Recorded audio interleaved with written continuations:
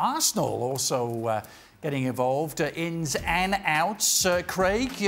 well, the one big surprise is, well, it's not a surprise because it was reported, but David Luiz, mm. didn't see that coming uh, a couple of weeks no, ago. we didn't. Uh, I like, I mean, Ceballos, I, I think he's a really good young player.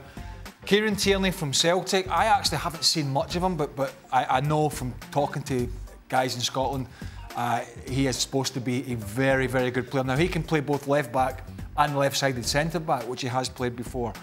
And of course, uh, Nicolas Pepe was the big signing. Mm. Uh, uh, so that's going to be an exciting front three if that's the way Unai Emery decides to go. Mm. Does that make their defence more solid in your assessment? This, this absolutely, in my opinion, means that Arsenal are going to play three at the back. Mm. You know, you're talking about Tierney joining, who can go up that left-hand side. If you have Bellerin on the right and you play three centre-backs, that's how it works for David Luiz. Let's not kid ourselves. Chelsea won the Premier League, and a lot of that was down to David Luiz, the way he had his two markers, and he just he didn't have to defend. All he was doing was reading the game, cleaning things up, and starting the ball passing from the back. So it has to be three at the back because he, cause he can't play, or he's certainly not the same player in the back four. If he goes 3 4 3, I mean, it'll be an exciting Arsenal team, but if you think about that, that also means, you know, it can be shuffled around a little bit, mm. but it means uh, one Mesut Ozil probably sitting on the bench because he does not fit into that that particular system. Jules, with your Arsenal ways, can you see it happening Three at the back? Yeah, I can. I can for sure. I mean, we we, we put a team together in a 4-3-3 formation. I think Unai Emery has many options tactically for that squad. The problem with the three at the back is where do you put Nicolas Pepe? Because even if you play a 3-4-3, like Craig just said, this is not really the position, and, and Pepe would play a right winger. This is not the position where he's at his best, and it's not either the position where Aubameyang would be at his best on the left-hand side of that 3-4-3. So Emery would have to find the right formula to, you know, to make all those players play at their best.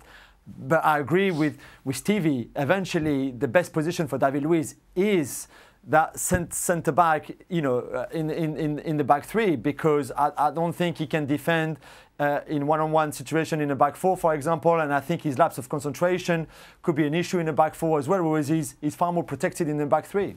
Mm. Let's agree. when he was in that back three at Chelsea and they were successful, in particular, as Azpilicueta beside him had one of his best ever seasons and he just mopped up so much. The question is, is when he goes on his wonders or makes mistakes, is who's going to do that mm. at Arsenal? Listen, I, I have no problem with the signing of David Luiz, and, and at the same time, I think it gives Unai Emery options because regardless of whether David Luiz is best in a, in a three or, or four, and regardless of whether we're talking about good David Luiz or bad David Luiz, it's better than what Arsenal have right now. And yeah. given this late in the transfer window, and we've been saying it all summer long, Arsenal have to address what they've been doing or not doing in the centre back position. And this at least gets another body, a better body mm. than, than Unai Emery had before. Ian, we're looking at the potential Arsenal starting 11 in front of us with David Luiz alongside Sokratis in a back four. Uh, how much better are Arsenal now, in, in your view, than they were in, in May?